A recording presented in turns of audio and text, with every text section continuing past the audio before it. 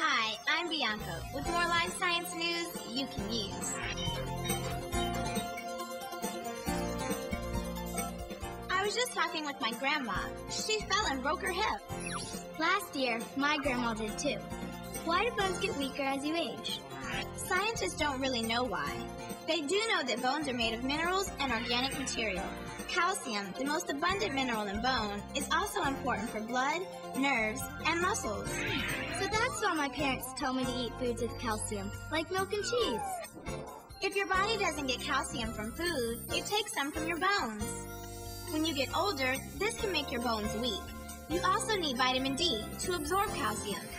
Where can I find vitamin D? Exercise in the sun or eat foods like fish and green vegetables. Most scientists agree that you'll grow up to be a healthier adult if you eat the right foods as a child. To find out more about bones, check out our website.